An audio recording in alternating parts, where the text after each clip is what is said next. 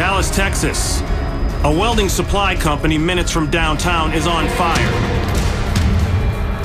The business stores hundreds of welding tanks filled with acetylene, a highly flammable gas.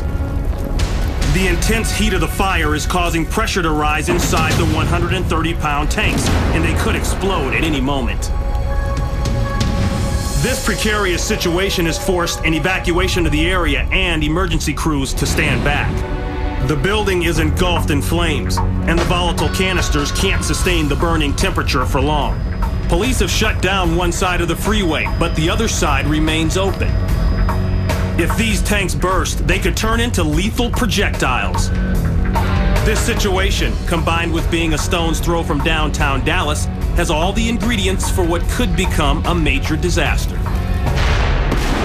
Then, the first tank explodes and flies across buildings. The velocity of the projectile confirms that anything in the vicinity is in jeopardy.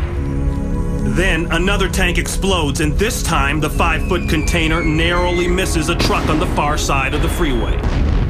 Then comes another one. Then another. And another. Before long, a slew of flaming projectiles vault hundreds of feet into the air.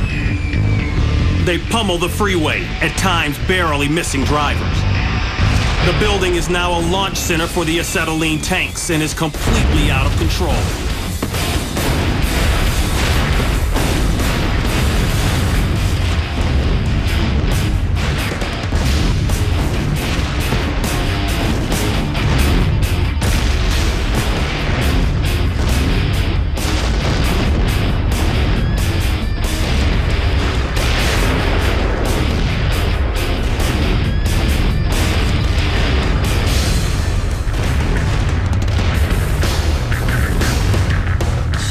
Finally, the explosions subside.